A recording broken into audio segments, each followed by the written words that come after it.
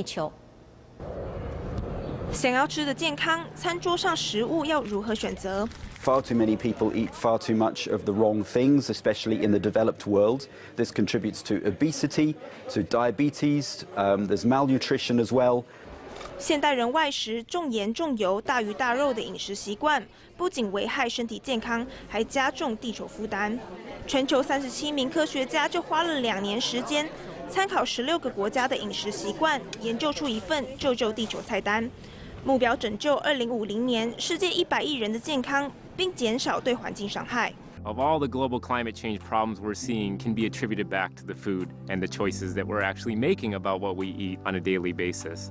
希望改善地球环境，必须做出点牺牲，减少荤食，蔬菜、水果、豆类和坚果的分量提升一倍。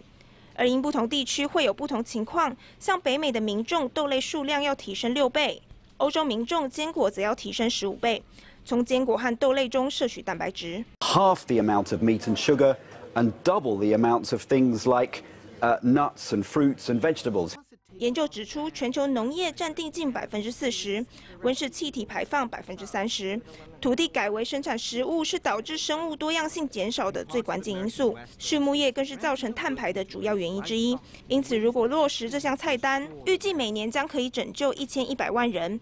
不但可以改善饮食习惯不良，引发相关疾病，更避免暖化造成的极端气候冲击更多无辜民众的性命。大爱新闻杨晴编译。